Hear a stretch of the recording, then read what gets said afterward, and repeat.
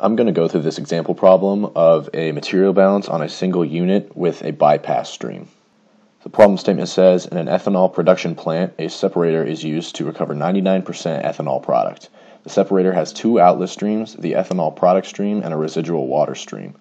Portion of the feedstock to the process is bypassed to be mixed with the residual water stream leaving the separator. The feedstock stream is 85% water and 15% ethanol by weight, and it flows at a flow rate of 450 pounds per minute. 30% of the feedstock is bypassed. The separator removes 60% of the ethanol originally in the feedstock. Determine the composition of the residual water stream right after leaving the separator and right after the mixing point of the bypass stream. The first step in any material balance problem is to draw a process flow diagram. So you need to translate this problem statement in words to a diagram. So in this problem, the only unit that we're going to be dealing with is the separator. It told us there are two streams leaving the separator, the product stream and the residual water stream. We also know that there's going to be a bypass stream going from the feedstock to the residual water stream. For simplicity, I'm going to denote water as W and ethanol as E. Next, I'm going to go through and label all the streams and fill in any of the values that we are already given from the problem statement. So this is all of the information given from the problem statement. We know the flow rate of the feedstock, we know the composition of the feedstock, we know the composition of the alcohol product stream, we know that 30% of the feedstock is bypassed, and we know that 60% of the ethanol is recovered in this alcohol product. The easiest place to start in this problem is to calculate the mass flow rate of the bypass stream, since we know that 30% by mass of the feedstock is going to be bypassed. You'll calculate that m dot 3, the bypass stream, is 135 pounds per minute.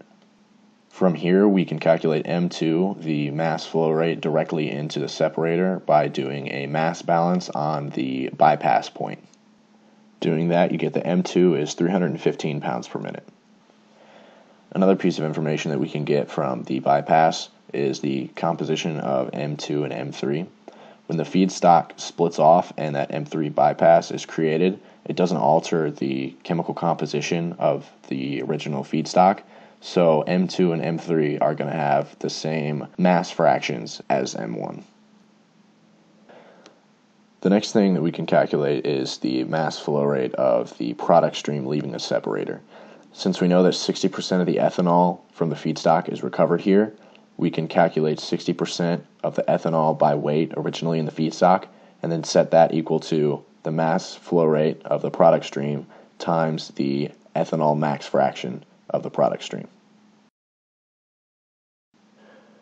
When you do this, you calculate that M4 is 40.9 pounds per minute. Using mass balances, we can calculate both M5 and M6 to calculate M6, you can do a mass balance on the entire process.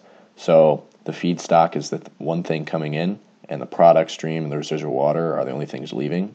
So M1 is going to be equal to M4 plus N6. M6 is equal to 409.1 pounds per minute. Now we can do a mass balance around the separator to calculate M5. M5 is equal to 274.1 pounds per minute. Now we know all the mass flow rates in the process and all the compositions except for streams 5 and 6.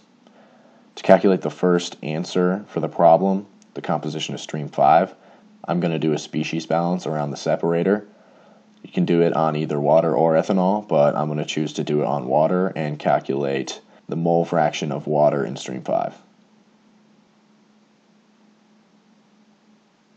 Doing that, you'll find that the residual water stream directly leaving the separator is 97% water. And since this is just a binary stream with water and ethanol, we know that the ethanol must be 3% of the stream. This is our final answer for the composition of the residual water stream directly out of the separator.